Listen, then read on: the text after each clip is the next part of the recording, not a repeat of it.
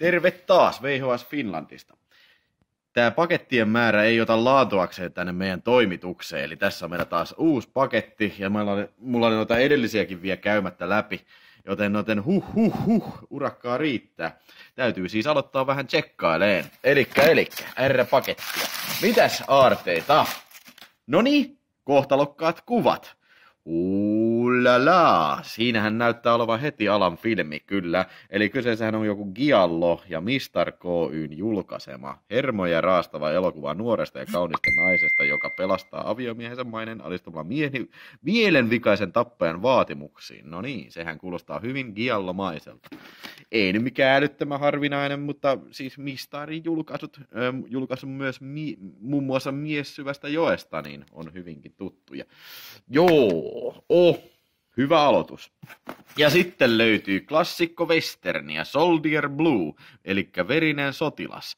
Suuri intiaani elokuva. Tämä on kyllä aika hyvä westerni, tota noin, niin, ja tämä tota noin, niin, Nordikin tai Embassyn julkaisema tämä, tämä tota, kasetti ei ole mikään kauhean yleinen, että kyllä tässä, tässä ihmeteltävää riittää. Siis Nordic Video Enpä. No joo, en mä tiedä. No on välillä niin kuin noi julkaisijat niin kuin on täysin niin kuin mysteeri, että niin kuin välillä ne on sitä ja tätä, VTC on sitä ja tätä ja Nordic Video on Hem Video Film ja Empassy on jotain ja jaadi jaadi ja ei sitä ota kukaan selvää. Mutta tämä on hyvä leffa. Inkkarin pääkin siinä yhdessä kohtaa räjähtää. Siinä on rapist kohtaa ilmeisesti menossa tossa josta. Juu, juu, Soldier Blue, komea kasetti. Nice one, nice one. Alrighty Ja sitten hei, Hangar 18, eli UFO, UFO-filmi varmaankin, joo, UFO-jännäri. Ja varmaankin kertoo sitten jostain humanoidihommista. Metalliesine tekee pakkolaskin Arizonan erämaahan. Joo, ja kyseessähän on taas jälleen Nordic Video-julkaisu. Elikkä, elikkä, no, Nordic Video AP. Joo, tämä on, kyllä vaikuttaa heti, heti niin kuin tosi mielenkiintoiselta filmiltä, koska siinä on avaruusalus ja UFO ja Hangar 18, niistä Megadettikin on tehnyt sen biisin. Joo, loistavaa. Vittu, saatanan äänettää pirisee tää puhelin perkele. Mä yritin ottaa kyllä äänet. Noin, nyt mä otin äänet pois. No niin, jatketaan. Jaha, no niin, SS-naiset rintamalla. Siirryttiin vähän eri meininkeihin, että tota noin niin. Mikäs tää nyt oli? Frauleis in uniform. Girls in Uniform. Juu, juu, ai, ai, ai, ai, kolmannen valtakunnan seikkailuita, kyllä. Kovaa kamaa, natsi-exploitaatio. Kyllä, se on aina niin kuin, jos tykkää roskafilmeistä, niin se on aina, aina varma betti, että niin kuin kannattaa ottaa natsi-exploitaatio ja K18. Ei perheen pilteille, en kyllä näyttäisi. Kuka, Joo, sitten Street War, Black, Ploy. Hetkinen, mikä tämä oli tämä englanninkielinen nimi, mä en nyt muista. Tota, joku, ei vitsi, en muista. No, anyway. No. Mitäs mä nyt tästä sanoisin? Mä en nyt yhtäkkiä keksi mitään. Että, siis niin kuin en ole nähnyt leffaa ja pitää kyllä katsoa, niin kuin, koska Blackarit on minun mieleeni loistava siinä, siinäkö oli sitten tämänkertaiset tuosta laatikosta. Alrighty then. Sitten mennään tähän kasaan, mikä täällä oli jäljellä. Elikkä, elikkä. The Eye of the Spider, Klaus Kinski ja Van Johnson. Juu. Ja Frekvenssia Geten julkaisu. No niin, hämähäkin silmä. Eli olisikohan tässäkin kenties Giallosta kyse, vai hetkinen, ei olekaan, vaan se on aktion filmi parhaimmillaan. Hmm, olisikohan tämä parempi kuin esimerkiksi Death Wish tai Commando, rohkenen epäillä, mutta se menee sitten kyllä katseluun. ASAP. Pistää noita tohon vähän syrjiin. Sitten seuraava. Noni, sitten on Thorn Emiltä, Tappava totuus, The Killing of America. No joo, nämä on näitä tämmöisiä Mondo-dokumentteja, mistä mä en nyt ihan hirveästi perusta, mutta tota, no, niin kyllähän nämä nyt kuuluu tämmöiseen niin kuin yleissivistykseen. Eli tässä on Thorn Emi-kasetti kyseessä. Joo, oivaltava kansi, missä vapauden passa vuoltaa verta sitten tossa. Joo. Typerästi toi valo häikäisee tuohon. No, okei, okay, mutta joo. Robert Houston musiikkijärjestö. Eikö tämä Robert Houston oli toi, mikä on Shokun Assassinin ohjannut, tai NS koostanut. No joo, anyways, hetkinen pistää se tuohon. Hyvä kama. Ja sitten on vähän harvinaisempaa settiä. Blazing Flowers, Maffia iskee. Mikähän siinä on Maffia? Kirjoitetaan tuolla. Onko se ennen vanhaan kirjoitettu kahdella f No, en tiedä. No siinä se ainakin on, ainakin tämän mielestä on oikein kirjoitettu, on Maffia.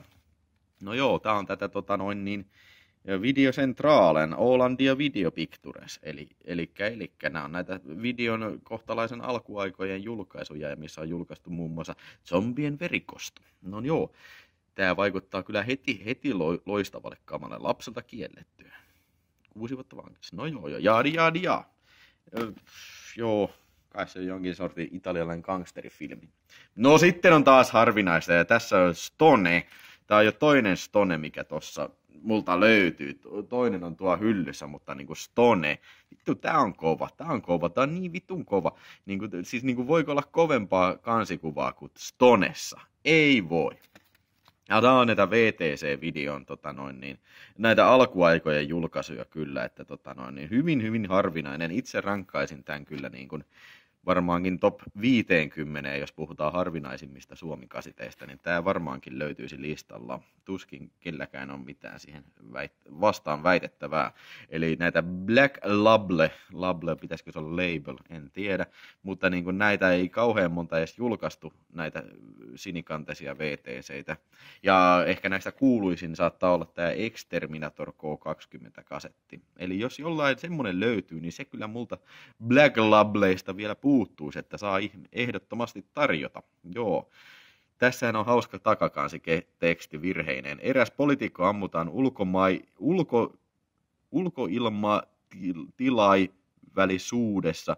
Muuta Matt Gravedickers moottoripyöräjengen jäsenet näkevät murhan. Kolme heistä murataan raasti vähän tämän jälkeen. Löttääkseen murhaajan liittyy Stone, joka on poliisi jengiin. No, en ole varma tästä lauserakenteesta. Se ei ole suomen kieltä. Se uraa verinen välien selvittely, moottoripyöriä, vauhtia ja kovaa menoja ja uskomattomia osasvuorituksia elokuvan rockmusiikin ja jännityksen ystävälle. Jekä Australiassa että USAssa tuli Stonesta suurmenestys. Ei suositella Elokuva ei suosita herkkä hermoisille, ei suusitella alle 18 vuoteen. Suom-teksti, no niin, sehän meni. Täydet pisteet tälle takakansitekstin kirjoittajalle. Ei ollut, kau- ei ollut kauheasti niin yli kymmentä virhettä, joo. Ja sitten vanha klassikko, Alien. Ai saakeli, tämä ei esittelyä kaipaa. Ridley Scottin Alien kahdeksas matkustaja aivan mahtava setti, kyllä.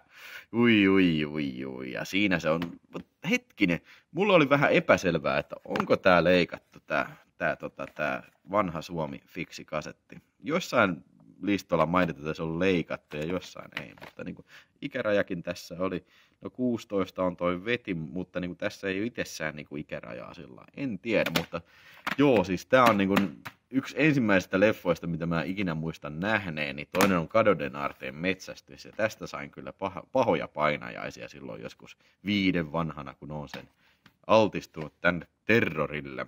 Joo. Klassikko, yksi parhaimmista filmeistä, End of that chapter. No. Ja sitten hei, lisää verta vyttyyn, pojat. No tämähän va- vaikuttaa varsin hulvattomalta. Joo, Tämä on tuttu filmi, mä en ole ikinä nähnyt tätä, mutta ilmeisesti kyse on tästä, tästä niin brittiläisestä komediafilmistä, ellen ole ihan väärin ymmärtänyt. Bloodbath at the House of Death, no joo joo, ja VTC Video, ne kyllä hoitaa tämmöisiä, niin kuin, tämmöisiä eriskummallisia julkaisuja, loistavaa, joo joo. Mikäs tää on? Yksikätinen murhaaja. No ei sano kyllä mulle yhtään mitään, mutta niin kuin hieno kansi on kyllä. Ja lienee tässä kyse kuitenkin jostain tylsemmän puolisesta TV-elokuvasta. Komissaria Geraldia, joka on yksi tohtori Kimplen takaa, josta näyttelee Barry Morse, tunnettu muun muassa TV-sarjasta Avaruusasema Alpha. No joo, se on hyvä sarja, mutta tota, no, Richard Kimble, siis hetkinen, siis onks, mitä vittua? Richard Kimble, niin kuin siis onko tämä takaa ajettu, missä on Harrison Ford, niin onko se tästä niin kuin remake? Okei. Okay. Okei, okay. joo joo. Selvä teki. Tämä oli uutta tietoa minulla. Aina oppii jotain uutta. Ja sitten taas tuplakappalta Kielletty maailma. Aivan loistava, loistava setti. Sehän löytyy tuosta hyllystä ja aikaisemminkin mulla oli tän, johonkin mä hukkasin se. Ja se mikä mulla oli, edellinen versio, oli leikattu. Eli tästä on ää, tästä leffasta on kaksi täysin identtisellä kansilla olevaa julkaisua, joista toinen on leikattu ja toinen on leikkaamaton. En tiedä kumpi, tä, nä, kumpi, onko tämä leikattu vai leikkaamaton, mutta hyllyssä mulla on tällä hetkellä leikattu versio. Tarvii se tarkastaa. Eli siitähän puuttuu niin tosi vähän. Siinä on niin kuin, ei varsinaisesti leikattu, mutta niin kuin editoitu uudelleen. Eli muun muassa se, kun tota, noin, niin, tohtorin käsi lähtee lähikuvassa irti, kun se on muuttunut mömmöksi, niin se näkyy kyllä trailerissakin. Mutta jostain syystä se oli leikattu pois. Ja sitten niin kuin lopussa toi monsterin se lonkero menee muija ilmeisesti pillusta sisään ja tulee sieltä niin kuin hartioista ulos, niin se, se oli leikattu pois se ulostulo ja pistetty siihen hidastettuna tota monsterin niin kuin suuta. No, mutta niin kuin täytyy katsoa, mikä tämän, tämän kasetin tilanne on. No, jätetään nämä vielä sitten seuraavaan kertaan. Aika alkaa olemaan lopussa, mutta tämmöisiä tällä kertaa. Ja tosiaan, jos sulta löytyy hyllystä, on hyllyn perukalla jotain tämmöisiä tämän tyylisiä kasetteja, niin ehdottomasti niin kannattaa ottaa muuhun yhteyteen. Olen kiinnostunut. Alright, hauskaa viikonloppua. Palataan. Moro!